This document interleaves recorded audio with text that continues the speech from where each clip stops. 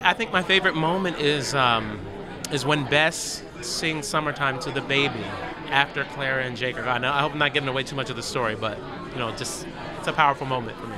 Yeah. I meditate. I stretch. I have to roll out. Like I have to put my body through all of this stuff. Otherwise, you know, I will get all tense and, and messed up, bruised up. And I listen to music. Like I sort of shut myself off and put some headphones on and and just kind of get in a zone. It's a lot of beautiful nature things around that area, and I can't wait on my either my days off or early days before the show, like during the mornings, going hiking and and um, seeing all of the nature that's around that area. I can't wait.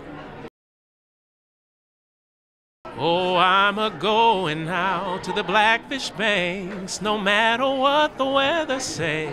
And when I say I was going, I means going, and I'm leaving at the break of day.